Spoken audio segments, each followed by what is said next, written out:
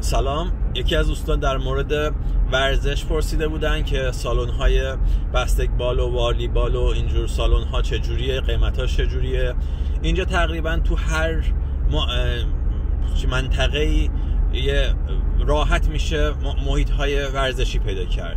محیط های ورزشی روباز برای والیبال، بسکتبال، چیزهای دیگه و محیط های ورزشی سرپوشیده. بعضی هاشون پولیه بعضی هاشون رایگانه. همه جورش هست ولی نسبت به درآمدها خیلی ارزونه می‌تونم بگم. یعنی شما یه شارژ ماهانه ای میدین مثلا برای رفتن به باشگاه ورزشی و یا سالانه میدین و میرین از خدماتشون استفاده می‌کنین. خیلی پیشرفته هست خیلی سطح بالا هست. مثلا بعضی از باشگاه ورزشی هستش که شعبه, ها شعبه های زیادی دارن توی شهرهای مختلف.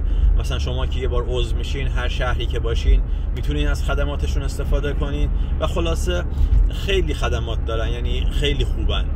و اونایی کمی که گفتم باشگاه بس چیز پیست بسکتبال و نمی‌دونم والیبال و اینا که همه جا هستن تقریبا. روبازها رایگان مردم میرن تنیس بازی می‌کنن بسکتبال بازی می‌کنن. این بار رفتم حتما فیلم می‌گیرم و خیلی جنب و جوش داره و خیلی جای شاد و فرح بخش و لذت بخشیه. سعی کردم خلاصه به کلی بگم. اگه سوال داشتین لطفا کامنت بذارین. سعی می‌کنم بهتر جواب بدم.